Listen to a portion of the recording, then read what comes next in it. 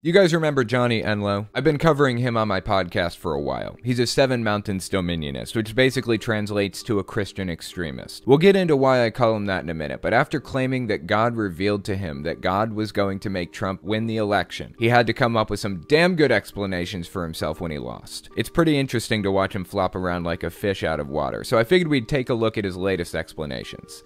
Let's get into it.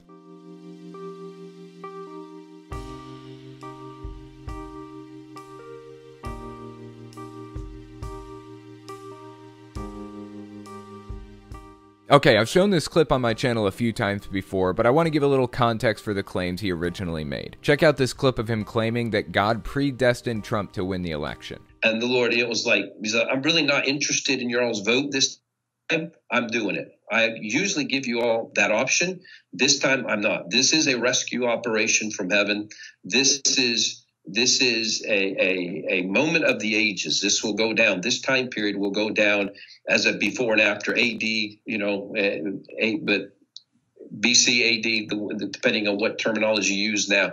This isn't the only clip he put out about it. He harped on it for months and months. He outright claimed that God gave him a vision, showing him that Trump was going to win the election. No misrepresenting that. He was very specific. Actually, he talked about it for like five minutes straight to make sure there were no misunderstandings. So what happened after Trump lost? Other pastors who also claimed that God revealed Trump's victory to them started saying that Biden is apparently so powerful that he usurped the will of God. God wanted Trump, but Biden fought God's prophecy and became president anyways, against God's will. They have a very strange view of God. It doesn't match up with anything I was raised to believe. Over the next few months, Enlow went on to make claim after claim that Trump is going to be placed back into the presidency on different dates December 14th, January 6th, January 20th, March 4th, and others. And finally, after months of failed prediction after failed prediction, his audience and his church started to doubt he was really receiving these messages from God. How long long is your audience going to hold on if you get it wrong enough times? So, in response to the fact that his congregation started criticizing him for his stupid, ridiculous so called prophecies, he came out and he said this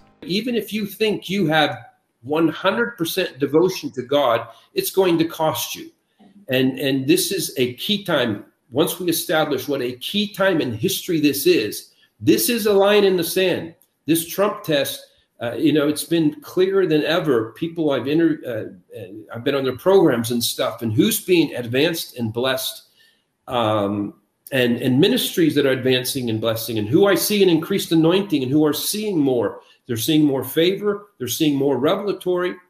Are people who didn't back off Trump he actually said that this is a Trump test. If you don't continue to believe him, that God gave him a prophecy that Trump would be president in 2021, then you've failed the Trump test and you won't make it into heaven because of your lack of faith. That video came out on June 7th. A few days earlier, he made an appearance on the Flyover Conservative podcast to deliver this message. Have you heard any timeline? Of course, that one has to come out. Any timelines at all?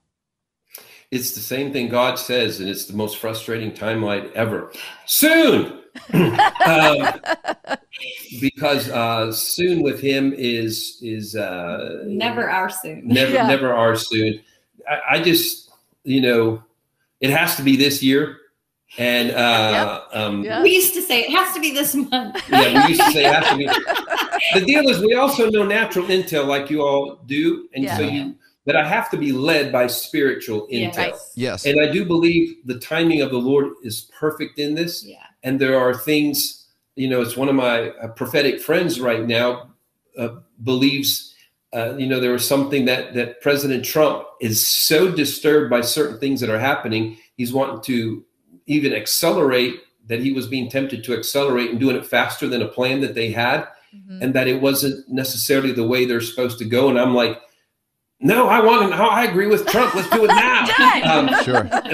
The, Let's do it. This is going beyond a normal prophecy that Trump is going to be president again, although at least he seems to have learned his lesson about naming dates. Unfortunately for him, he made another specific prediction, which we'll talk about in a second. I honestly thought he learned from all this. He's also saying Trump is in direct communication with God, and they've made a plan together. Well, that brings us to the latest clips. This one came out on July 2nd, 2021. He's referring to his last specific prediction. He claimed that God would move on July 4th, Independence Day. I guess he has one more blunder to cover up. Check this out. Johnny, you're saying that God is decreeing from heaven on the 4th for us that it's time for the Republic to come back in. I'm not hearing you predict a specific thing, right? You're saying God's decreeing something. He's he's making that declaration, and something's going to show up. And I don't know, uh, as always, and part of what I'll explain on the prophetic a little bit on the tail end of this is a good time to do that. I can't say exactly what that's going to look like.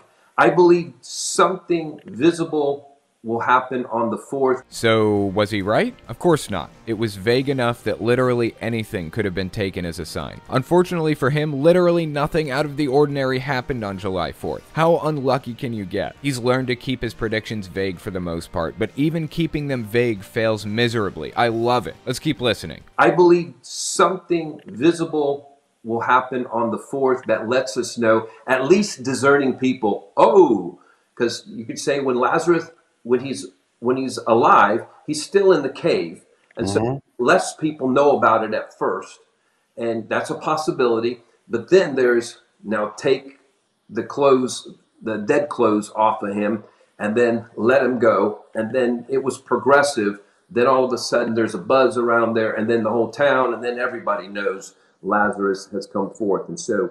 However, the Lord does that, I believe we'll see something. I, I believe the discerning we'll, we'll see something that Good. happens on the 4th Good. that tells us that this has in fact happened and it may be it may be spectacular it may not be i don't have the insight on that Absolutely love it. He was comparing this undefined event to Lazarus rising from the dead. So I take that to mean it was supposed to be a pretty serious event. Well, we're like three weeks past it now. Has anything happened? Honestly, I just want to know when he's going to learn not to stick his foot in his mouth. That brings us to the very latest clip. This one came out July 10th, after the failed prediction. Check this out. President Trump is still the Cyrus, and he still has unfinished business. And we've gone in depth on that before and he still has the Isaiah 45 assignment to take down Babylon, which for our purposes represents the deep state.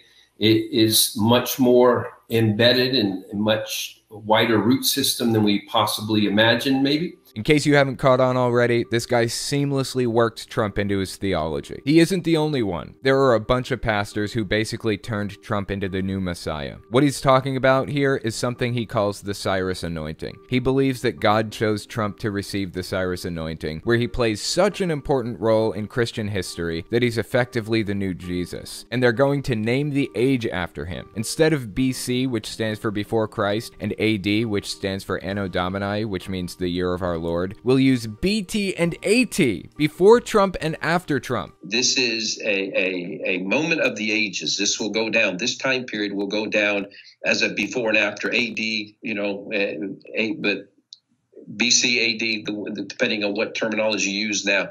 He's comparing Trump to Jesus. That's nuts. Let's keep listening. Uh, the timetable is driven by God. You know, there's an aspect of uh, people ask why we don't know that the prophetic doesn't get those things. There's a whole lot of things that the Lord is not revealing. It's not just because they're bad prophets. You can't say things you don't see. And once the more you understand what's going on, it would literally mess up uh, strategy of how the Lord is doing it. You know, if He's using certain individuals in the world and certain leadership and certain militaries to do things, and we're telling all the secrets and timing. Right um, right.